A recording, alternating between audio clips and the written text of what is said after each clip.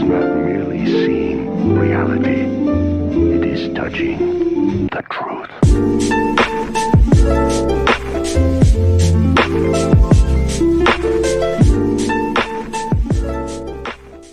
Well, I watched Monday Night Raw, and at the end of Monday Night Raw, I realized me watching it was a terrible decision.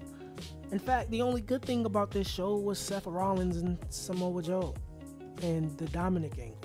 But I wanted to talk about something so stupid to me, which was yes, if you read the title, it was indeed Raw Underground. Now, when I say I understand some people actually like that, Raw is trying something different, and it's not that I don't like that, but Jesus Christ, why would they try something like this? I mean, it just doesn't make sense, you know?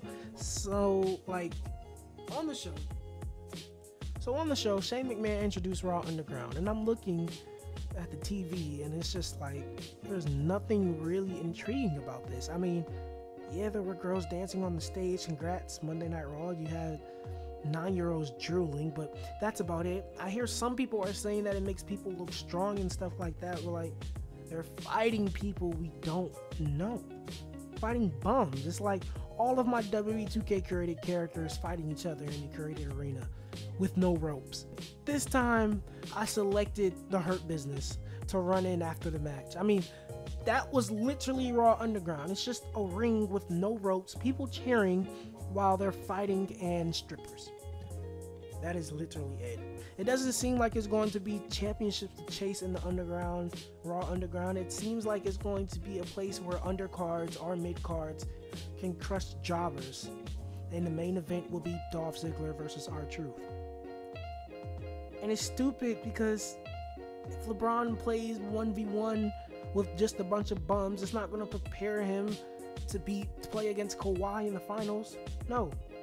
MVP is still going to get crushed by Apollo Crews.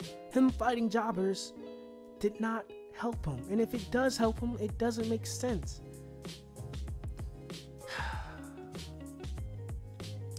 I'm saying it makes no sense to me, you know? And I give it about a month before it just becomes one big joke and people are begging for this raw underground to go away. If you like this content, slap that like button, comment down below what you like or don't like about Raw Underground. I want to talk to other people about this topic. My name is I King Skice, and thanks for watching. But what do you do when there's no place to turn? I